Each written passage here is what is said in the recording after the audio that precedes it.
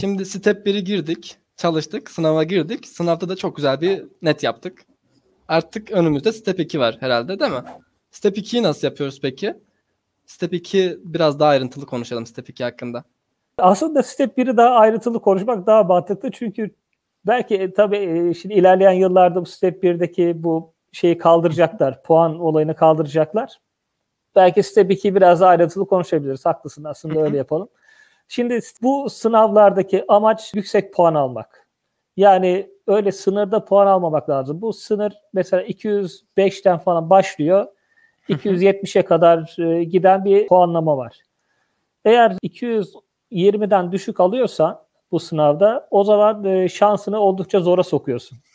Hmm. Yani genel böyle ortadan bu bir sürü data var. NRMP dataları falan var. Buralara bakarsan 200 30-40 civarı ya yani garanti almak için 240 hedeflersen puan bundan yukarı almak şey güzel bir sonuç yani öyle söyleyeyim. Yani amaç zaten zor mu hocam? Zor bir şey mi? Zor değil ya. Çalışınca her şey yapılıyor. Çok zor tamam. değil yani. Hani Hı-hı. bir de genç beyin bu yeni işte Aynen. üniversiteden çıkmış dersler taze Aynen. falan. Yani çalışan adam 240 iyi çalışan adam 240'ı rahat Hı-hı. alır çok iyi çalışan adam alıp da ben düşük olan adamı çok böyle görmedim. Yani ciddi çalışıyorlar. Tabii uzun yıllar geçmeyecek aradan. O zaman biraz daha yoğun çalışmak lazım. Yani amaç burada geçmek değil. Amaç burada iyi puan almak. Özellikle Step Anladım. 2'nin B'sinde gelecekte bu önemli hale gelecek. Şimdi Step 2'nin B'si klinik staj. Aslında Step 1 ile çok ilişkili.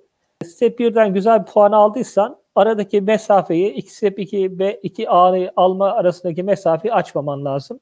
Daha böyle kısa tutman lazım. Çünkü oradaki bilgileri kullanıyorsun. Step 1'deki bilgiler senin bayağı işine yarıyor.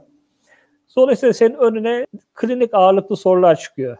Dahili, cerrahi, çocuk, bu halk sağlığının konuları var, işte epidemiyoloji var, işte bazen genetik falan soruyorlar. Yani bir nevi bizim tuz gibi oluyor aslında. Step 1 daha çok temel bilimler. Step 2 de klinik bilimler. Step 2'nin A'sı. Evet aynen, aynen öyle. Daha zor 3-4 tane soru tipi var. Bir tanesi işte sana e, bir hastalığı anlatıyor. İkinci basamakta ne yaparsın diye soruyorlar. Hı hı. Ya da e, sana hastalığı anlatıyor bunun mekanizması ile ilgili soru soruyorlar. Ya da direkt böyle bulguları veriyor. Senden hastalığı tanımanı istiyor. Daha böyle klinik şeyle hasta pratiğiyle de ilişkili sorular var. Amaç bir standardı ölçmek. Bunda blok sayısı, sayısı bir puan daha fazla. Yani blok sayısı 9. Ee, 10 saat. yani ara, arayla beraber e, spor yapmaya devam yani şeyde. yani o sandalyeye 10 saat oturmaya göze alacaksın abi. Çok zormuş ya, hakikaten ya. Yani insan alıyor göze Mahmut'cum. Tabii ama göze... bir defa geçince gidiyorsun da öyle değil mi? Ya Süper. bir kere step birden yüksek alıyorsun, gaza geliyorsun, o gazla gidiyorsun bak öyle. Pratiği o olayı. Step 2'nin A'sı dahili bilimleri sorduk. Hani klinik bilimleri.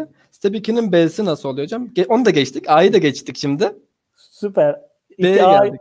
2A, biri geçtin, 2A'yı geçtin, Türkiye'de kaldı. Yani Türkiye'de bu sınavlar. Bu ikisini Türkiye'de geçtik. Ha, aynen. İkisini de Türkiye'de alıyorsun. İkinin B'si için eskiden biz Amerika'ya geliyorduk. Ama bu Covid muhabbetinden dolayı buna başka bir geçici bir test yaptılar OIT diye. Hı hı. Sonra da herhalde böyle online yapma çabaları var ama ne aşamada bilmiyorum. Tam böyle kesin bir bilgi yok. OIT ee, İngilizce sınavı değil miydi hocam? Öyle miydi? Ben mi yanlış biliyorum? OIT bir tane İngilizce sınavı. Bu Avustralya kökenli İngiliz e, hı hı. aksanlı bir sınav. Bunu böyle geçici olarak bu dönem yaptılar bu Covid'den dolayı. Çünkü bu Step 2 2'nin B'sini çok böyle hazırlayamadılar. Online anında adapte edemediler. Bu OIT ile bunu geçiştirdiler. Ee, böyle geçici bir evet. şey yaptılar bu dönem. Ben de şu an OIT çalışıyorum. Anladım. Şimdi bu şeyin 2'nin e, B'si normal koşulları ben anlatayım. Değişim Hı-hı. olunca da bir update videosu yaparız yani bir değişiklik tamam, varsa. Hı-hı. E, normalde Amerika'ya geliyorsun bununla ilgili. Amerika'da e, yine test merkezleri var. Sana 12 tane hasta var. Hastalar hepsi ayrı ayrı odalarda duruyorlar. Böyle 20 kişi de pardon 12 12 24 kişi de iki tane sırada böyle bekliyorsun sınav şeyde e, girmeden önce. Hı hı. Şimdi gong çalıyor. Gong çalınca sen de kapıyı tıklatıyorsun. Tak tak tak. Ondan sonra kapıyı açıyor. Hi, this is Dr. Oren diye e, içeri girip hastaya kendini tanıtıyorsun. Ondan sonra hastayı e, dan anamnez alıyorsun. Hastaya fizik muayene veriyorsun. E, ardından hastaya önerilerde bulunuyorsun. İstediğin testlerle ilgili açıklamaları, kısa açıklamalar yapıyorsun. Ondan sonra odadan dışarı çıkıyorsun. 10 dakika zamanda da hasta notu dolduruyorsun. Hasta böyle bitiyor. Sonra diğer hastaya geçiyorsun. He, anladım. Böyle böyle o hastaları bitiriyorsun. Evet böyle böyle 12 tane hasta var. Hepsini bitirdikten sonra sınav bitmiş oluyor. Seni değerlendiren de hastalar değerlendiriyor. Sadece sen, sadece senin not o en son yazdığın 10 dakika içerisinde yazdığın hasta notunu doktor değerlendiriyor. Hmm. Değerlendirme kriterleri 3 tane. Bir tanesi data toplayabiliyor musun? Sen bilgiyi toplayabiliyor musun? Bu işte doktorun değerlendiriyor. O kağıtta yazdıklarını değerlendiriyorlar. İkincisi iletişim kurabiliyor musun? Hastayla iletişim kurabiliyor musun? İşte hastanın derdine derman oluyor musun? Yani aslında hasta benim başım ağrıyor diyor ama belki psikolojik problemi var. Sen o psikolojik problemi dokunduğun zaman e, hasta onunla ilgili sana bilgileri veriyor. İletişim kurmuş oluyorsun böylece. Anladım. Kritik bu. Bu arada hastalar profesyonel aktörler ya da bu iş için e, eğitim almış kişiler yani oradaki hastalar. Hı hı. Bildiğin normal fizik muayene yapıyorsun ama tabii böyle hassas fizik muayeneler haricinde normal fizik muayene yapıyorsun hastalara yani hani pratik hastalara. Üçüncü değerlendirme de İngilizce. İşte steplerdeki İngilizce değerlendirilmesi bu aşamada oluyor İngilizce. Yani öyle bir TOEFL, MOFL ya da başka şey almana gerek yok.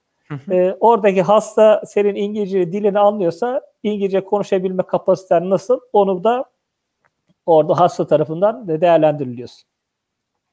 O zaman bildiğimiz C ile gitmemiz lazım yani. En az C olması lazım seviyemizin. Speaking code hatta. Valla İngilizce akıcı konuşacaksın. Bunun en önemli, bu bütün bu yoldaki en önemli hususlardan belki birincisi İngilizce. Yani İngilizceyi akıcı halde konuşman gerekiyor. Bu da artık üzerine düşersen yapılmayacak değil. Yani çok da zor bir şey değil. E, ama akıcı konuşman gerekiyor. En azından böyle bir karşı karşılıklı bu conversation olması lazım.